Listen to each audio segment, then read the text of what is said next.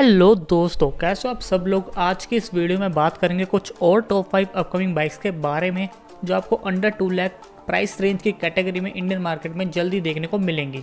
दोस्तों 2021 में काफ़ी बाइकें लॉन्च होने वाली है और कुछ न्यू प्रीमियम ब्रांड्स भी आपको इंडियन मार्केट में देखने को मिलेंगे। तो चलिए जानते हैं इस वीडियो में, ये बाइक कब और किस प्राइस रेंज में आपको मार्केट में देखने को मिल जाएगी। तो आप वीडियो को एंड तक ज़रूर देखें और चैनल को सब्सक्राइब करना ना भूलें।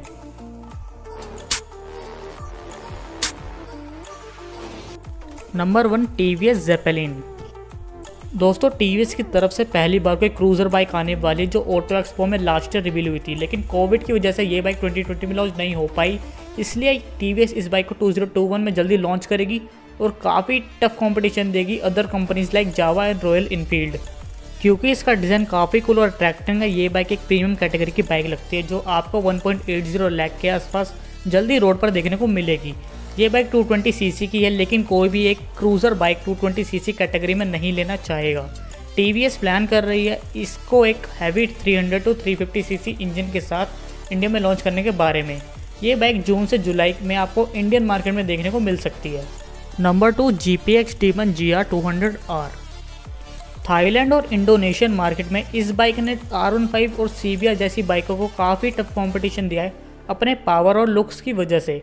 इसलिए जीपीएक्स ब्रांड पूरी तैयारी में इस बाइक को इंडियन मार्केट में लॉन्च करने के बारे में।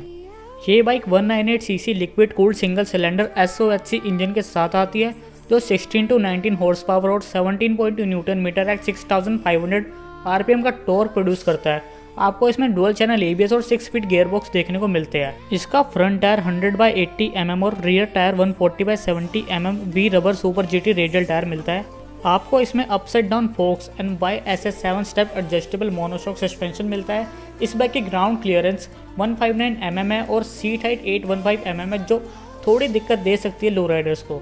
इस बाइक की टॉप स्पीड 150 किलोमीटर पर आ तक की रहने वाली और आपको इसमें एक स्पोर्टी एग्जॉस्ट और यूनिक डिज़ाइन और एक आई कैचिंग ब्लैक रेड और ग्रे कलर देखने को मिलेगा।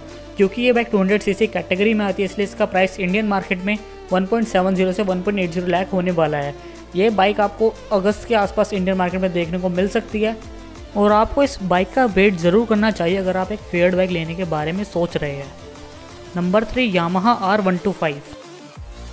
जैसा कि आप सब जानते हैं, यामाहा की आर वन फाइव का प्राइस हर तीन से चार महीने में बढ़ जाता है, जिसकी वजह से आर वन फाइव की सेल्स में काफ़ी फ़र्क पड़ रहा है और लोग स्विच करने लगे हैं दूसरी बाइकों पर। इसलिए यामाहा अपनी आर वन टू फाइव के साथ आने का प्लान कर रही है। जिन लोगों को आर वन फाइव सिर्फ़ लुक्स के लिए पसंद है, वो लोग ज़रूर स्विच करेंगे आर वन टू फाइव पर इसके लो प्राइस होने की वजह से। जिनको आर फाइव लेने तो उनको कौन ही रोक सकता है? बाकी ये बाइक टोटल सेम होने वाली है Yamaha R one five V three से।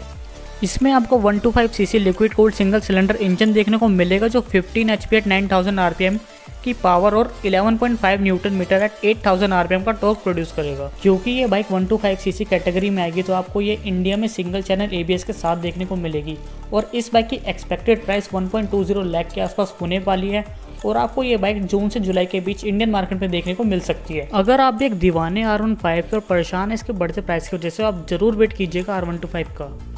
Number four Yamaha X S R one five five Yamaha अपनी आर सीरीज़ और एमटी सीरीज़ लॉन्च कर ही चुका है तो अब बारी है यामा की एक्स आर सीरीज़ की। X R one five cafe racer की कैटेगरी में आने वाली, जिसमें same R one five V three का one five five C C liquid cooled single cylinder engine use किया गया है, जो उन्नीस एच के पावर प्रोड्यूस करेगा। आपको इसमें six speed gear box Yamaha से स्लीपर क्लच के साथ देखने को मिलेंगे। ये बाइक टू चैनल एबीएस के साथ आपको इंडियन मार्केट में देखने को मिल सकती है। आपको इसमें all digital console LED headlight और टेल लाइट मिलती है।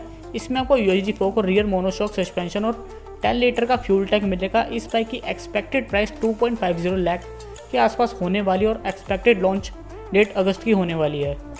Number five Yamaha M T one two five Yamaha अपनी एम टी सीरीज़ 2020 में इंडिया में लॉन्च नहीं कर पाया था, इसलिए 2021 के एंड तक यामा अपनी एम टी सीरीज़ की कुछ बाइकें जैसे M T one two five M T zero three और M T zero seven launch कर ही देगा।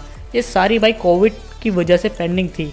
तो आपको Yamaha M T one two five में same one two five C C liquid cooled single cylinder R one two five वाला engine देखने को मिलेगा, जो 15 एच की पावर प्रोड्यूस करेगा। ये bike same M T fifteen के लुक्स के साथ इंडिया में लॉन्च होगी एक्सपेक्टेड प्राइस 1.20 लाख के आसपास, जो काफ़ी अच्छा कंपटीशन देगी K T M Duke one को।